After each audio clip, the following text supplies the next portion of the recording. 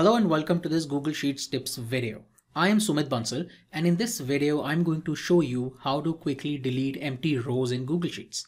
Here I have this data and I have a couple of empty rows here and I can delete this manually in this data set but if you have a large data set then doing it manually is going to take a lot of time. So let me show you a couple of methods to do this. The first method is by using a filter technique. So I would first select this entire data, go to the data tab here and then click on create a filter. When I do that it applies filter to the header row and here in any of these columns I would go click on this icon and then clear all these rows and only click on the blanks option. And now when I click OK, you would see that all the rows where there was data are now hidden and all the rows where uh, which are blank are now here visible on the screen. So now I would come here and select these row numbers, right click and then click on delete row 6 to 14. Now don't worry, this is not going to delete all the rows.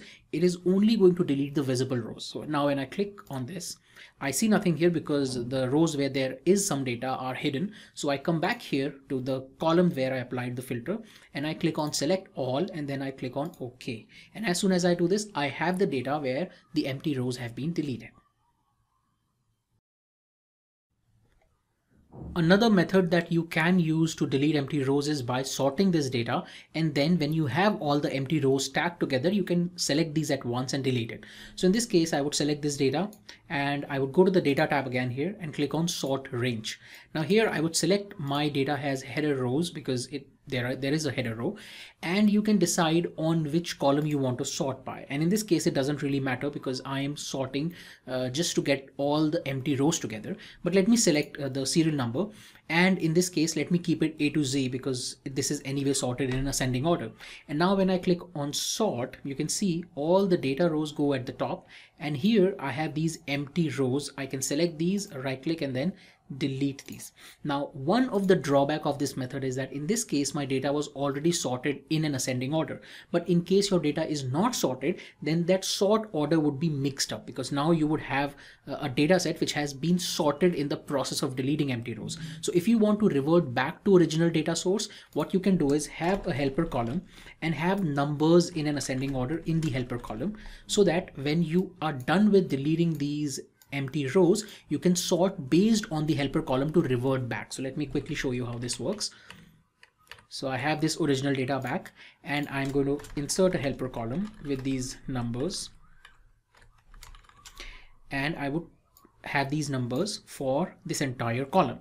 Now, when I am sorting this data, I would include the helper column as well. I would go to the data tab, click on sort range. And in this case, while I'm deleting it, I'm not going to use helper. I can use any of these. Let's use name in this example.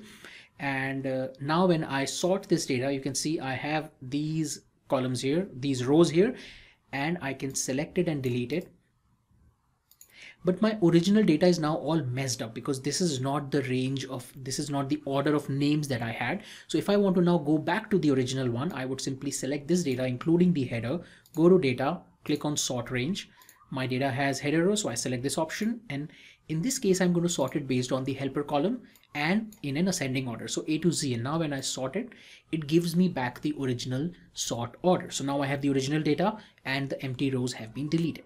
So these are two quick methods to delete empty rows in Google Sheets. That's it in this video. I hope you found this useful. Also if you're liking these videos Please subscribe to this YouTube channel and click on the bell icon so that you never miss out on any new Google Sheets tips video I come up with. Thank you and have a wonderful day.